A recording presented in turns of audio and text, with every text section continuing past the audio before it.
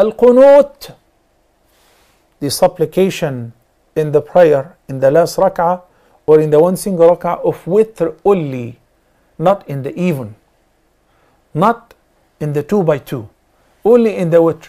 So if mashallah after you prayed Isha, you prayed the Sunnah and you prayed the witr, then you happen to get up and pray again. As many number of rak'ahs, they should be even, two by two, masna masna.